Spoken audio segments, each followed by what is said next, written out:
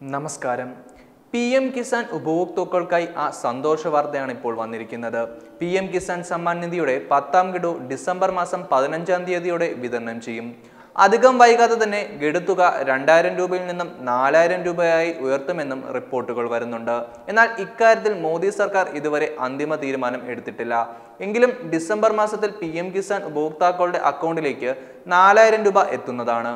തുക ലഭിക്കാനായി ഈ മാസം തന്നെ നിങ്ങൾ രജിസ്ട്രേഷൻ നടത്തേണ്ടതുണ്ട്. നിങ്ങളുടെ പേര് ഇതുവരെ പി എം കിസാൻ സമ്മാൻ നിധി യോജനയിൽ രജിസ്റ്റർ ചെയ്തിട്ടില്ല എങ്കിൽ നിങ്ങൾക്ക് ഒക്ടോബർ മുപ്പത്തൊന്ന് വരെ രജിസ്റ്റർ ചെയ്യുന്നതിനായി സമയം അനുവദിച്ചിട്ടുണ്ട്.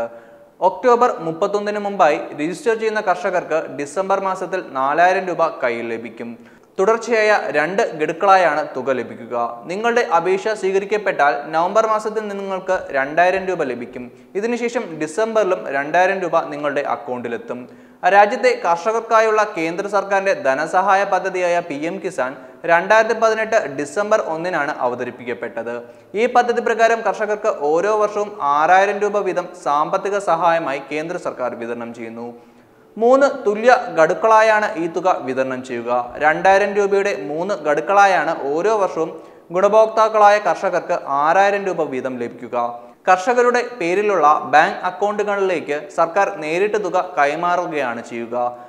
പ്രധാനമന്ത്രി കിസാൻ സമ്മാൻ നിധി അഥവാ പി എൻ കിസാൻ പദ്ധതി പ്രകാരം രണ്ടായിരം രൂപയുടെ ആദ്യ ലഭിക്കുന്നത് ഏപ്രിൽ ഒന്ന് മുതൽ ജൂലൈ മുപ്പത്തൊന്ന് വരെയുള്ള കാലയളവിലായിരിക്കും. രണ്ടാം ഗഡു ഓഗസ്റ്റ് ഒന്നിനും നവംബർ മുപ്പതിനും ഇടയിൽ വിതരണം ചെയ്യും. ഡിസംബർ ഒന്ന് മുതൽ മാർച്ച് മുപ്പത്തൊന്ന് വരെയുള്ള കാലയളവിലാണ് മൂന്നാം ഗഡു വിതരണം ചെയ്യുന്നത്.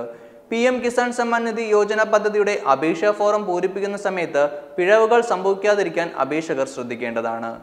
അപേക്ഷകന്റെ പേര് ഇംഗ്ലീഷിലാണ് പൂരിപ്പിക്കേണ്ടത്. അപേക്ഷയിൽ ഹിന്ദിയിൽ പേരുള്ള കർഷകർ നിർബന്ധമായും അത് ഇംഗ്ലീഷിലേക്ക് മാറ്റേണ്ടതുണ്ട്. അപേക്ഷാ ഫോറത്തിലെ പേരും അപേക്ഷകന്റെ ബാങ്ക് അക്കൗണ്ടിലെ പേരും വ്യത്യസ്തമാണെങ്കിൽ പണം അക്കൗണ്ടിലെത്തിക്കാൻ താമസം വരാം.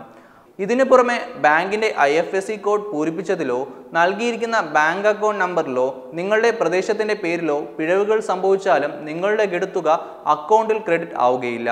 അതാത് സംസ്ഥാന സർക്കാരുകളും കേന്ദ്ര ഭരണ പ്രദേശ ഭരണകർത്താക്കളുമാണ് അർഹരായ കർഷക കുടുംബങ്ങളെ കണ്ടെത്തുന്നത്. പണം അക്കൗണ്ടിൽ എത്തിയോ എന്നോ തങ്ങളുടെ ഗഡു തുകയുടെ സ്റ്റാറ്റസ് എന്താണ് എന്നോ കർഷകന് ഓൺലൈനിൽ പരിശോധിക്കാൻ സാധിക്കും. ഇതിനായി P M Kisan online portal വഴിയാണ് പരിശോധിക്കേണ്ടത്. മൊബൈൽ ഫോൺ ആപ്ലിക്കേഷൻ വഴിയും പി എം കിസാൻ ഉപഭോക്താക്കൾക്ക് ഗഡുക്കളുടെ സ്റ്റാറ്റസ് അറിയാൻ സാധിക്കും. വെബ് ഡെസ്ക് തത്തുമേ ന്യൂസ്.